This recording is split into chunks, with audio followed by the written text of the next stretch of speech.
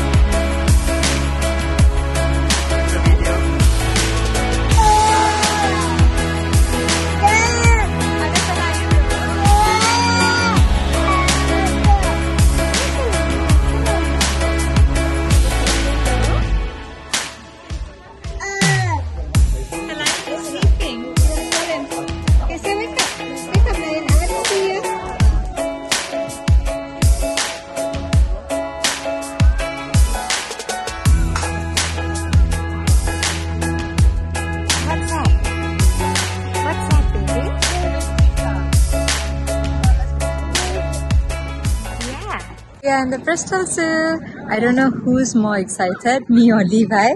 I just remember that I used to enjoy zoos so much when I was much younger, and we haven't obviously been to any zoos before.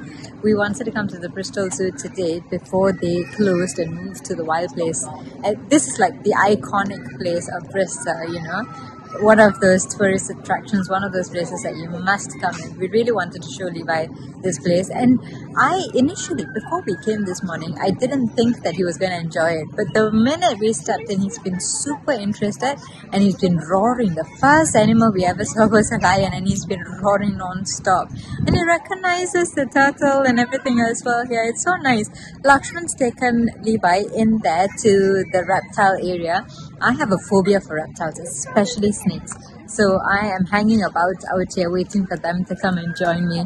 There's absolutely no way I'm going to go in there to see any reptiles at all. It's just so much fun, you know, a lot of life around here. It looks so nice.